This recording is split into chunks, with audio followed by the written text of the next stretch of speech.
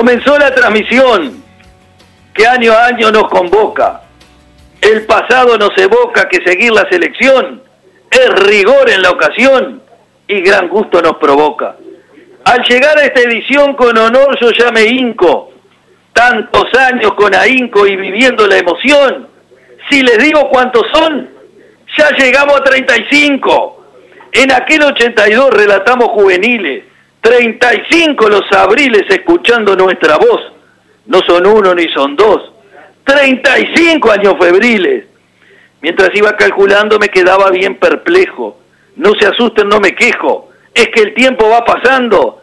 Mientras tanto voy pensando, ¿no será que ya estoy viejo? Empezamos en dictadura y seguimos en democracia. Al principio con audacia, audacia, pero siempre con cordura. No perdiendo la dulzura, porque en eso está la gracia. El pasado que se fue, no existían celulares, ni internet, ni redes sociales, ni la laptop, ni el CD, ni tampoco DVD, ni las fotos digitales.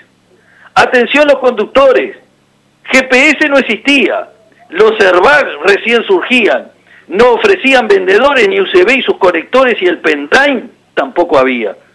Recordando otras horas, nada de eso vemos que hay.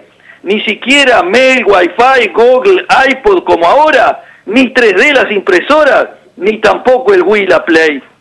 En aquel tiempo pasado, al no haber tecnología, a la misma se suplía con trabajo dedicado y ese esfuerzo duplicado que al final mucho rendía.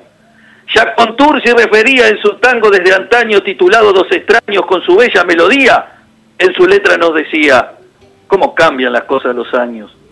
Y orgulloso yo le digo en mi mes aniversario, que un sinfín de anecdotarios se ha vivido aquí conmigo, siendo tantos los amigos que resulta extraordinario.